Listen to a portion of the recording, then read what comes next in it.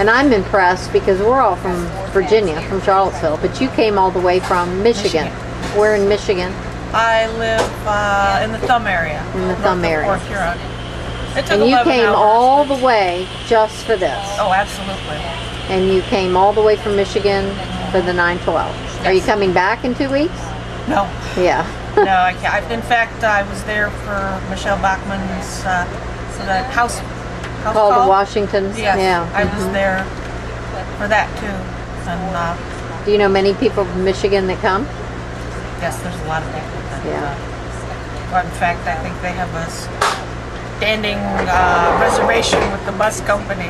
Yeah. Did you get Because- to see Glenn yesterday? Oh yeah, that Yeah. was so. He's not a fatty, fat, fat, fat. it was uh, oh, and he got all teared up, and it was it was really cool. Yeah, it was. I, of. I saw him several years ago in his comedy.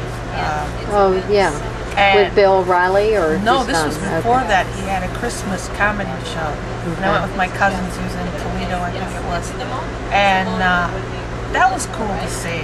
Yeah. But now, the way times are, and uh, he has taught all of us how what's important and where we can find these uh, the answers to the questions we have, and to get more involved.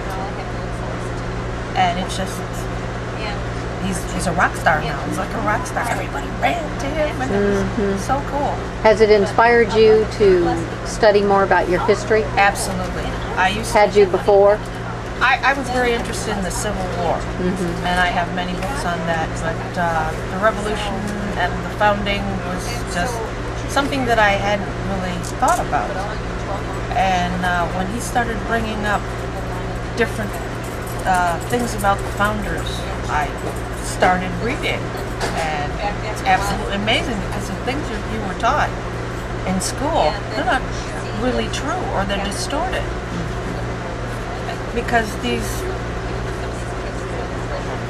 uh, I don't know you know the, these guys had such great courage and it was it's like they gloss over the, the revolution and the founding in history and they're more interested in, in the industrial revolution and more recent history. But you have to know where you come from before you can know where you're going. So that's just, uh, I've got a ton of books that I have to read and uh, that's